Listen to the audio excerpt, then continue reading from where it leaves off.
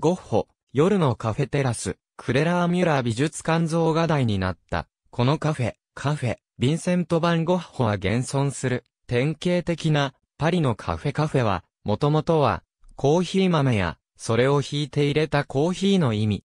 転じて、客にコーヒーを飲ませるための店、施設を意味する。ヨーロッパの都市などにある、コーヒーをその場で飲ませる店のことで、特に、パリやウィーンのものが知られる。新聞や雑誌がそこで読め、時の話題について談笑し、情報交換のできる場所として親しまれている。各国語の表記、発音は以下の通り。フランス語、イタリア語はコーヒーそのものを意味する名詞からの転用、英語はフランス語からの借用である。その他日本語を含む多くの言語でフランス語カフェに由来する名称が使われている。建築家のクリストファー・アレグザンダーは、ストリートカフェの存在理由について、人々が、衆目の中で合法的に腰を下ろし、移りゆく世界をのんびり眺められる場所としての機能を挙げている。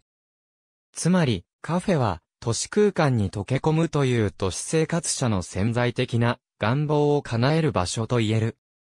また、アレグザンダーは繁盛する、ストリートカフェの基本条件を挙げている。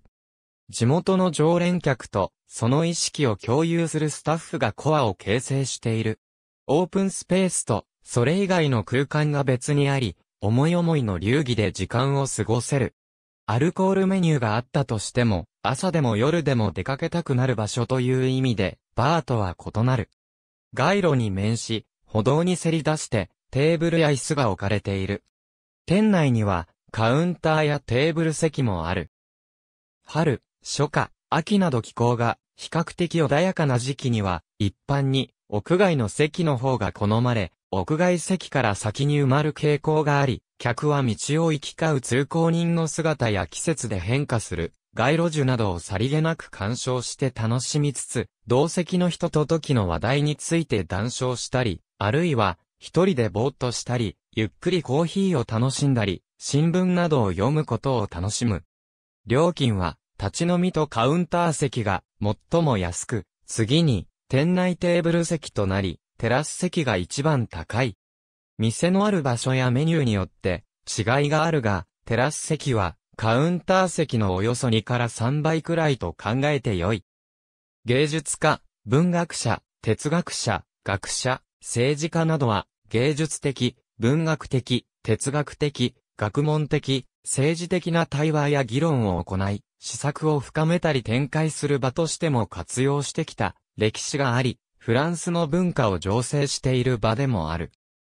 会話は部屋の奥では煮詰まってしまう傾向があるが、次々と視界に入ってくる新たな通行人の姿などにも刺激されつつ、対話をすると自然と話題が広がってゆく。逆に客があえて外界と心理的に途絶したい場合は、店の採用あたりに陣取るという自由もある。カウンター内の従業員と馴染みの人などは、カウンターでいつものたわいのない会話を楽しむ。基本的に、パリのカフェには有名店を除いて、クーラーがなく、生家時は、非熱の関係で、涼しい店内テーブル席やカウンター席に座る人が多い。冬はもちろん店内席の方が暖かい。有名店には、冬でもテラス席に座りたい人のために、テラス用屋外ヒーターを設置している店もある。こういう人たちはもちろん厚着をしている。とあれは地下にあるのが普通である。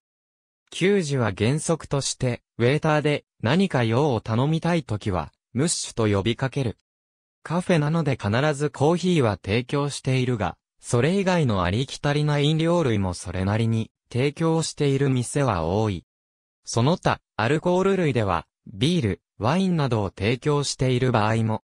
店によっては、パティスリーやサンドイッチなどの軽食類も提供する。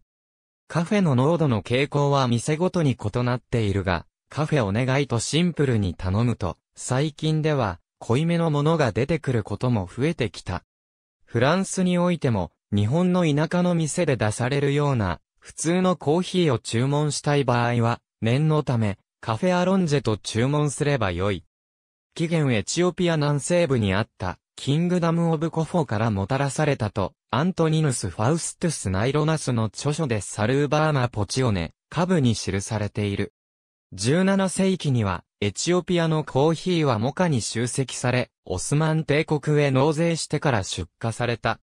カフェやモカの語源は、現在のエチオピア南部諸民族州の少数民族の名前に由来している。ウィーンのカフェセントラルバールは、イタリアスペインなどの南欧にある軽食喫茶店のことを指す。食事にも重点を置いたリストランテバールからコーヒー中心のカフェバール、アイスクリーム中心のジェラテリアバールなど様々なものがある。カウンターで立ち飲みするスタイルでバリスタがエスプレッソやカプチーノなどを作って提供する。朝食をとったり仕事帰りに気軽に立ち寄って一杯飲んでいく。軽食や夏場なら、ジェラートなどが用意されている店も多い。公衆電話やトイレを備えるため、休憩所にも利用される。バスや電車の乗車券、タバコ、くじなどを売るタバッキや雑貨店など他の商店を兼ねている店も多い。語源はバーに由来するが、バーのように種類がある字ではなく、喫茶や地域の情報交換場所として使用されている。夜は種類も注文可能なことが多い。